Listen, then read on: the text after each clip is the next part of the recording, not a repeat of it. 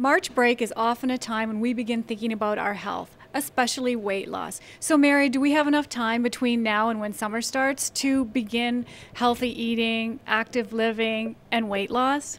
Anytime is a good day to start healthy living um, and weight loss. And of course, the, the most important thing to think about is what kind of lifestyle choices are we making right now?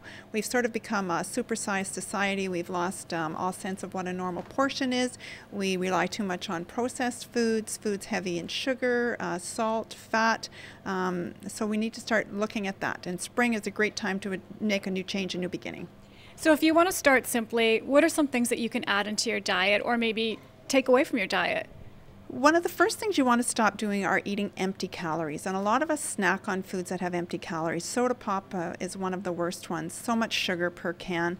Um, some people can lose weight simply by eliminating pop out of their diet. If you enjoy pop and you want to transition out of it, you can start drinking sodas that are sweetened with stevia.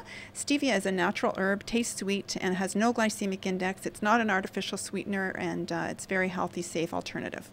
In our society, we should be a little bit aware about portion control too. What do you have to say about that?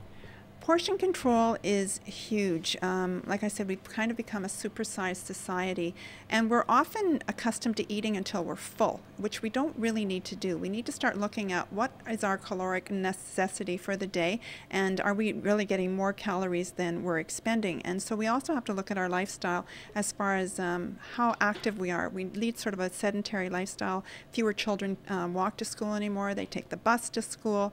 Um, they don't play on outside. They tend to use their computers. So again, spring, new time, haul the bikes out of the garage, pull out the soccer balls, do things as a family. When you do it as a family, it's easy for everybody. And I think the biggest thing is don't look at it as a diet, look at it as a lifestyle change. Then it's not something that's punitive, it's not something that's short-lived, it's a, leading to a great future for everybody.